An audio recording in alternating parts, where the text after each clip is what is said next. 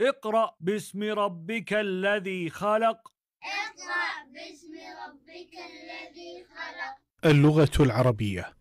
شرفت أن تكون لغة القرآن الكريم وشرفت أرض الحرمين الشريفين أن جعل الله فيها قبلة عباده المسلمين وبعث فيها خاتم الأنبياء والمرسلين وأنزل على أرضها كتابه الكريم فكان حب العربية والعناية بها مسؤولية دينية.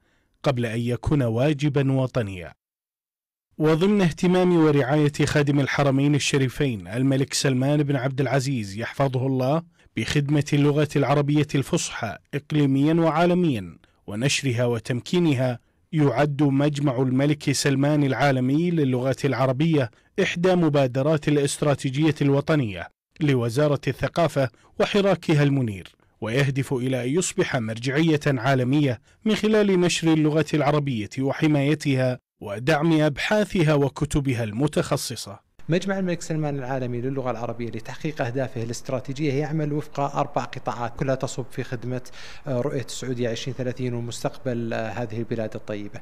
ومن عمق المجمع الاستراتيجي يتضح لنا تيسير الفجوة بين الثقافات المختلفة ومحاولة التواصل الحضاري وإيصال رسالتنا الدينية والثقافية والاجتماعية بما تتضمنه من معان سامية. نحن نسعى في القطاع أن يكون المجمع على غرار الجهات والمؤسسات اللغوية العالمية كالمجلس الثقافي البريطاني وجمعية الثقافة الفرنسية ومركز جوتا الألماني ومركز كونفوشيوس الصيني بحيث يكون المجمع مركزا وجهة لغوية تسعى إلى نشر اللغة المملكة قدمت جهودا ضخمة في خدمة اللغة العربية عبر تاريخها داخليا وخارجيا ففي الداخل أنشأت ستة معاهد حكومية منتشرة في مناطق المملكة وجامعاتها لتعليم العربية لغير الناطقين بها.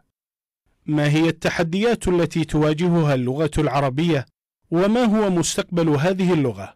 وما هي العوامل التي قد تكون مؤثرة على مسيرة تطور العربية؟ كل تلك الأسئلة وأكثر يجيب عليها الأمين العام لمجمع الملك سلمان العالمي للغة العربية في حلقة العلن الليلة لبرنامج في العلن عبد الإله آل دليم الرياض